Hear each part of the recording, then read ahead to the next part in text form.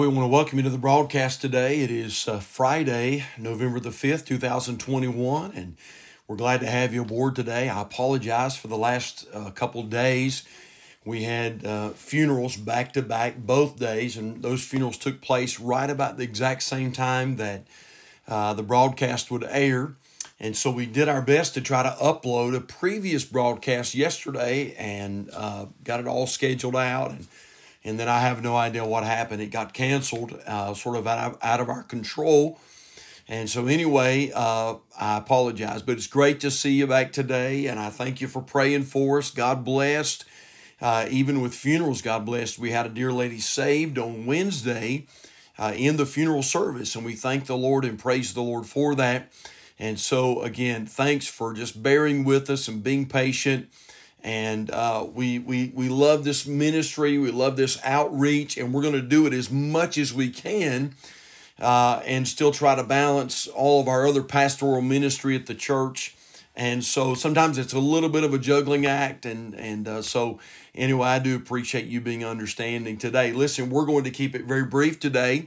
I'm going to make uh, a few announcements in just a moment. We'll do some shout outs. And so go ahead and and uh, we'd love to recognize you on there. Be sure you comment. And then also, if you would, be sure you like and share.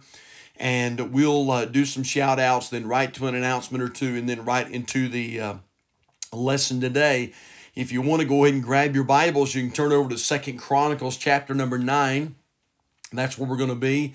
And then many other places. But I'll put I'll put some of those references on the screen today and so let's find out who's aboard and then we'll go just a little further. All right, we're glad to have you on here with us today. Let's see, Atlee Brown is on here. Atlee, good to see you. Hope you're enjoying that brand new Bible. Good to see you, my friend. Thanks for tuning in today. Almeida Campbell is with us.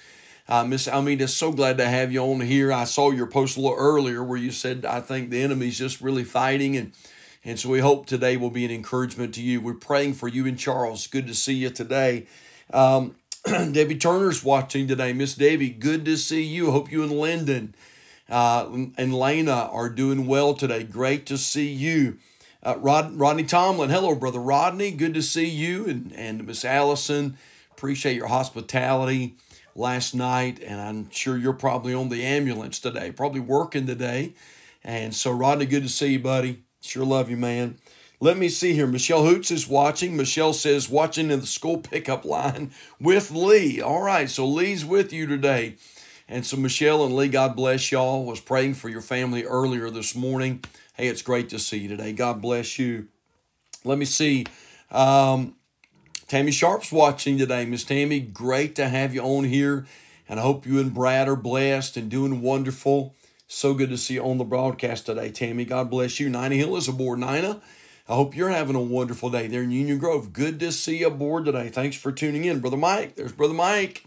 Brother Mike Hill, love you, my friend. Good to see you today, Brother Mike. Thanks for tuning in. Karen Hoffman. Hello, Miss Karen. I hope you're having a humdinger of a day today. It's good to see you, Miss Karen. God bless you.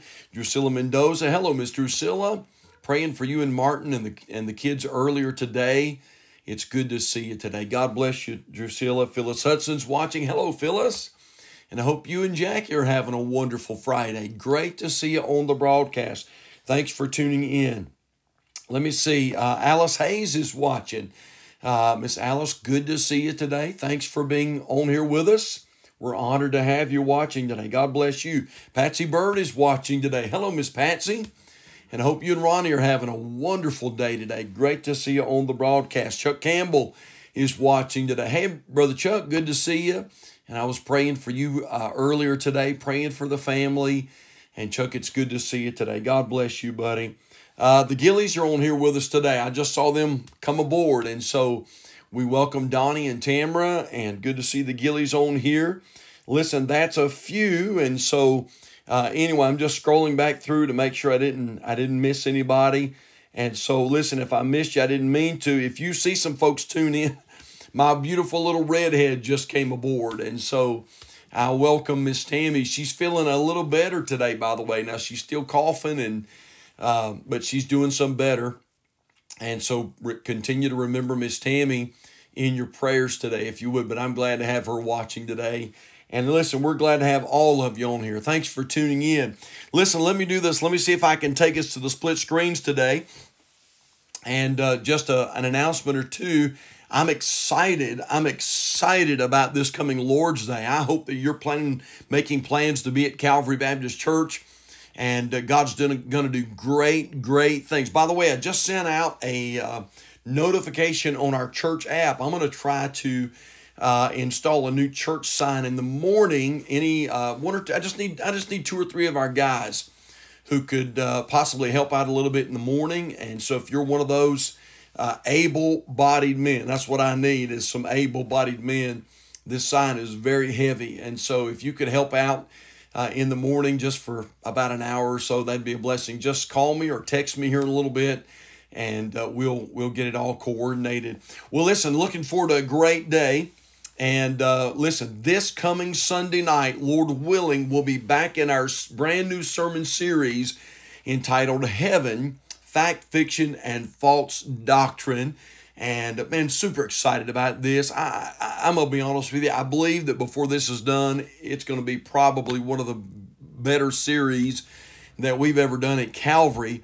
And uh, what a blessing that first one was. We talked about the place. We talked about the place of heaven. Where is heaven? The Bible talks about three, and uh, so that it was it was enlightening. It was encouraging, and so Lord willing, this coming Sunday night we're going to be talking about the population of heaven. Uh, who is is going to be in heaven? Uh, some people believe this. Some people believe that only Baptists are going to be in heaven. You say, Brother Pope, you don't believe that? I do. I don't believe that. I really don't.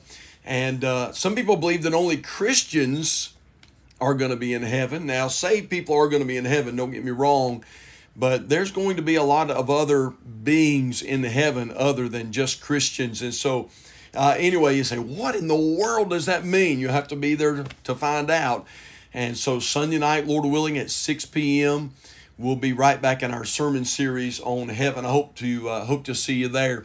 And then I wanted to make mention of this. We mentioned the book giveaway, and then we had some funerals that uh, we had to help in this week. And and so here's what we'll do. Lord willing, we will just push that forward just a little bit. We'll try to promote the book giveaway next week.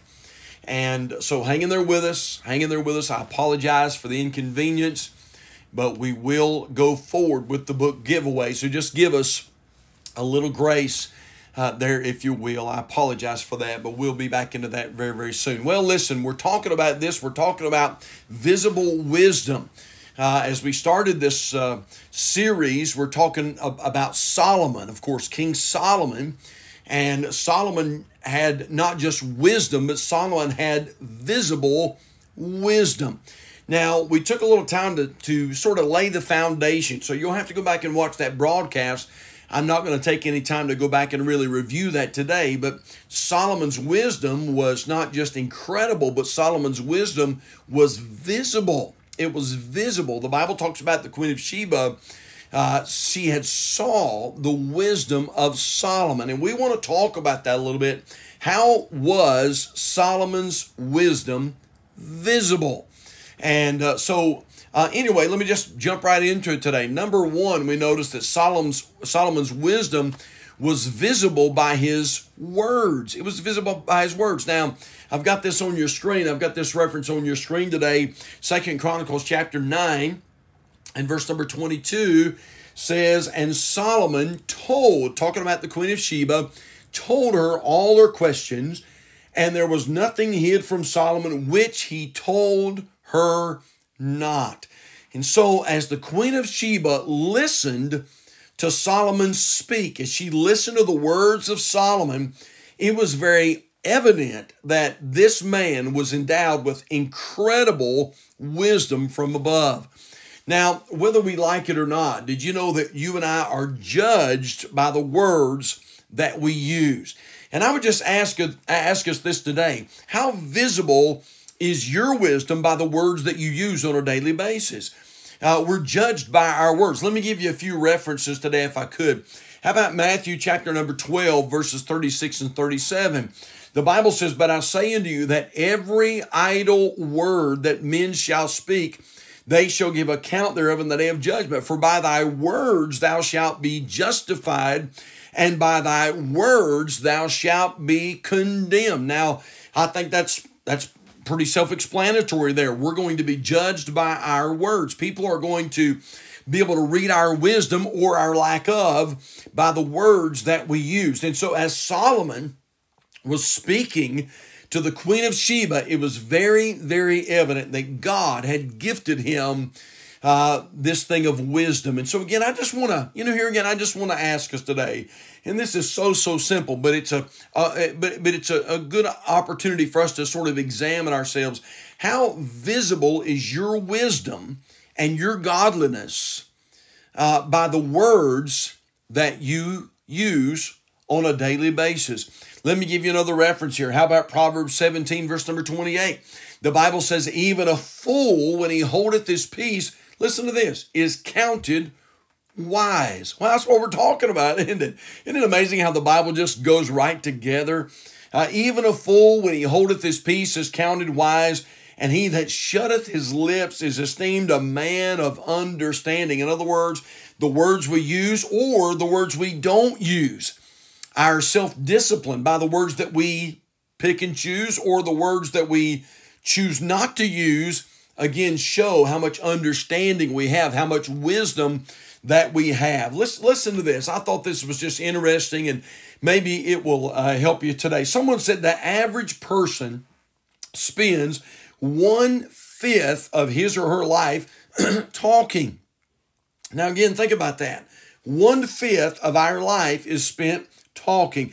If all of our words were put into print, the result would be this a single day's words would fill a 50 page book. But hang on to your hats here. While in a year's time, the average person's words would fill 132 books of 200 pages each. 132 books.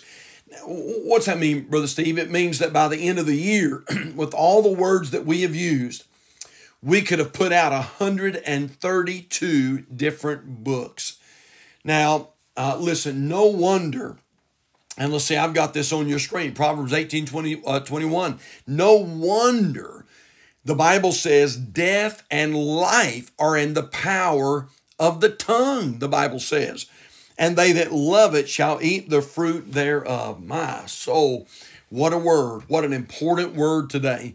Uh, we will be judged by our words, and, and our words are used to bless and to help and to encourage and to edify, or they're used to curse and to tear down and to cause harm and to cause hindrances and hurt. And so, again, I want to ask this question How visible is your wisdom by the words that you and I use. I found this, someone said it like this a careless work uh, may kindle strife, a cruel word may wreck a life, a bitter word may hate and steal, a brutal word may smite and kill, a gracious word may smooth the way, a joyous word may light the way, a timely word may lessen stress, and a loving word may heal and bless. Wow. Now, I, I know today, my dear friend, that was about as simple as simple could be. I don't know about y'all, but man, that that ministered to me today. I have to be so careful about the words that I use uh, because people are going to judge us according to our words. And someone says, well, you know, Pastor, I'm just the kind of person, I just, you know, say the first thing that comes to my mind. I'm going to be honest with us. The spirit filled child of God can't afford to do that. We don't have that convenience because our words have power. Death and life in the power of the tongue. And according to Scripture, you and I are to be so careful about the words that we use. Well, what a simple word today. I hope it's been a blessing to you, and it's been such an incredible blessing to come to you today. Let me do this if I could. Let me put some uh, numbers on your screen today. It's our prayer helpline number 704 327 5662. And if you're watching the broadcast today and you've got a need in your life, especially if you have a need of salvation, you don't know that you know that you're on your way to heaven, we want you to call. Listen, I promise you, you're not going to bother us. And I promise you something else. We're not going to ask you for a handout. We're not going to ask you for an offering. We would just love to take the Word of God and show you from the Word of God how you can know that you're going to heaven when you die. And so please call that number 704 327 5662. If you're watching this broadcast today and you've got a heavy burden on your heart, and you say, Brother Pope, I, I need somebody to pray with me and help me, why don't you call us? Be sure you leave a callback number. We want to call you and we want to pray with you and believe God with you. And then all of our countdown family, don't forget, be kind to everyone because everyone's having a tough time. They really are, aren't they? By the way, that's why the house of God is so important. And we are praying and believing God for a phenomenal day this coming Sunday. And so I hope that you'll get ready. Hope you'll be in prayer. And, and uh, listen, we look forward to seeing you in God's house this coming Sunday. All right. Hey, listen, have a great Friday and a great weekend. We love you. God bless and take care.